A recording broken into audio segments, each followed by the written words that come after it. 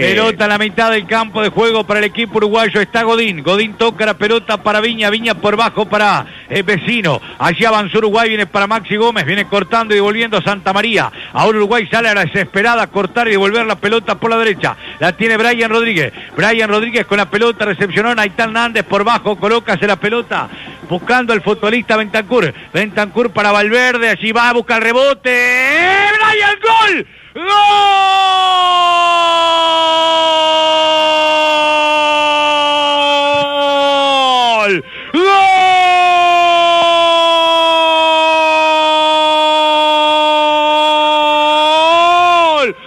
Uruguayo, señoras y señores oyentes, cuando les decía que Uruguay salió a presionar en la ofensiva, el futbolista Georgian de Arrascaeta aparece de Arrascaeta, señoras y señores, para definir cruzado, cruzado junto al poste derecho, la pelota que fue colocada bajo el estudio Uruguay en la ofensiva, cuando fue a presionar, la presión fue de Bentancur y el remate del futbolista Georgian de Arrascaeta, vecino entró en juego y Georgian definió junto al poste derecho abajo, empata el partido Uruguay-Perú, están 1 a 1 en 29 minutos del primer tiempo. Asuma la responsabilidad de Arrascaeta, sí lo quiero, más allá de que también acá lo ayuda un rebote, como en el gol de los peruanos, pega en un peruano en el remate de zurda de Arrascaeta y se mete contra el palo de Galese, no merecía estar perdiendo Uruguay, el error defensivo para mí lo tiene, lo tenía perdiendo, el empate llega en el momento justo. Buen juego colectivo, buena tenencia y buena presión por parte del conjunto uruguayo llegando más vecino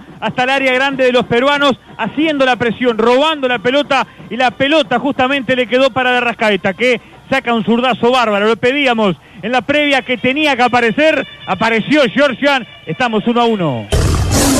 Relata Fabián Guillama Domínguez, el relator que se distingue. Informa.